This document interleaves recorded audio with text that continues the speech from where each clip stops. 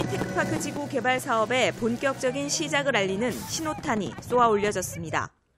2008년 경제 자유구역으로 지정된 후 2016년 지구 지정 취소 위기에 놓였던 영천 하이테크파크 지구는 지난해 농어촌 정비법이 개정되면서 개발 사업의 실마리가 풀렸습니다. 올 7월 실시 계획 승인과 토지 보상에 따른 후속 조치로 지난 12일 사업 착수 식이 열렸습니다. 시행사인 LH공사는 2022년까지 영천시 녹전동과 화산면 일대 122만여 제곱미터에 2,355억 원을 투입해 기반 공사를 실시할 계획입니다. 아, 그동안 영천에 산업 용지가 없어가지고 상당히 어려움이 많았습니다.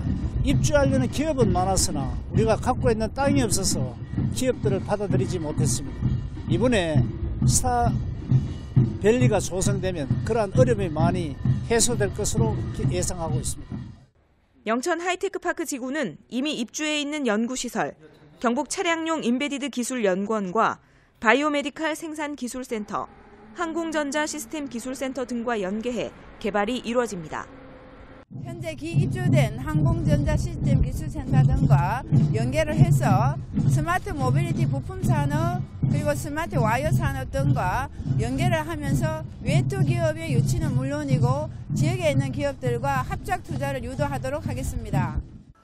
경산 지식산업지구와 포항 융합산업지구 등 인근 경제자유구역과도 시너지 효과를 내겠다는 계획입니다. 어, 영천은 모빌리티 산업과 항공이나 자동차 이런 산업을 하고 포항에는 철강, 포스트 철강입니다. 그 산업과 지금 규제 자유특구로 지정된 어, 배터리 recycle 이런 중심으로 갑니다. 그래서 포항과 영천이 어, 서로 간에 그 시너지 효과가 많이 날 것으로 그렇게 생각합니다. 지구 지정 10년 만에 개발 사업이 본격화되고 있는 영천 하이테크 파크 지구. 첨단 산업 기지로 자리 잡을 수 있을지 주목됩니다.